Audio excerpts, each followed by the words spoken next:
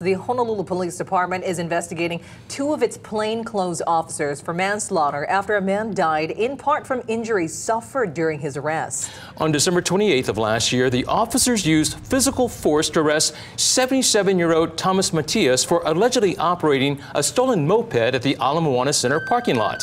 Matias was taken to a hospital but refused treatment and was eventually released pending further investigation.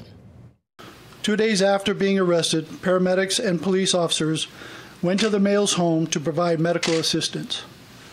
The male told the responding officers that he had been assaulted by police officers two days earlier. He then was transported to the hospital where he was found to have multiple rib and facial fractures. For reasons unknown at this time, the male left the hospital uh, several hours later that same day. Sadly, he was found deceased in his home in January 10th of this year. An autopsy determined the cause of death was a combination of existing medical conditions and recent chest and rib injuries. The two officers, who have three and eight years of service respectively, have been placed on restricted duty while the investigation takes place. While there is no body-worn video, a police spokesman did tell us there is surveillance video of the incident, but it has not yet been released.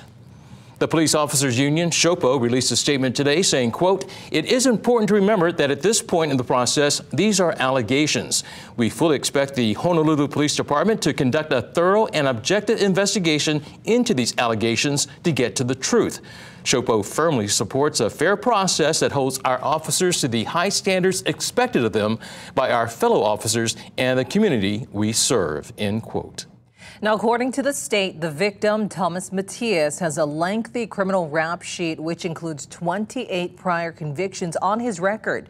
Now, these happened between 1965 and 2015, and among the charges, there were multiple felonies, including assault, robbery, and weapons charges.